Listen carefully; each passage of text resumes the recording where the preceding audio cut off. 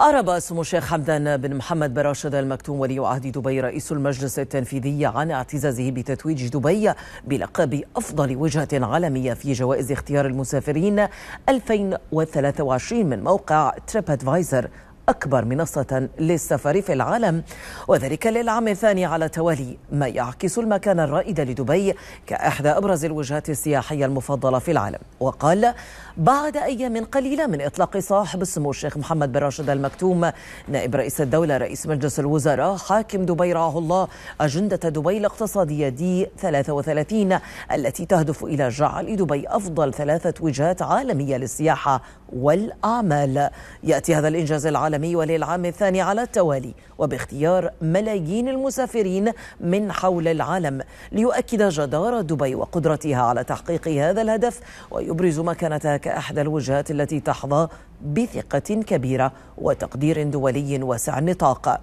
ونوه سموه بأهمية هذا الإنجاز وما استند إليه من مقومات قائلا التنوع الكبير للقطاع السياحي ما بين سياحة العطلات وسياحة الأعمال والمعارض والمؤتمرات في دبي. تدعمه بنية تحتية رفيعة المستوى ومرافق سياحية وخدمية وترفيهية بالغة التميز بالمعايير العالمية وتسهيلات وخدمات لوجستية من الأفضل عالميا.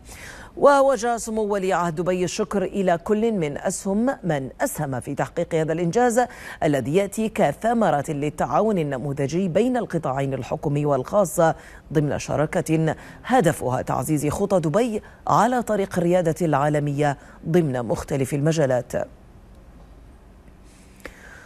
وجاء إعلان اختيار دبي ضمن صدارة التصنيف الدولي للوجهات العالمية المفضلة للمسافرين لعام 2023 خلال الحفل السنوي الذي تقيمه تريب ادفايزر حيث ينسجم اختيار المسافرين للإمارة للمرة الثانية على التوالي مع الجهود المبذولة لتعزيز اقتصاد الإمارة المتنامي بما فيه قطاع السياحة وهي المرة الثانية في التاريخ التي تحصل فيها وجهة عالمية على اللقب لعامين متتاليين.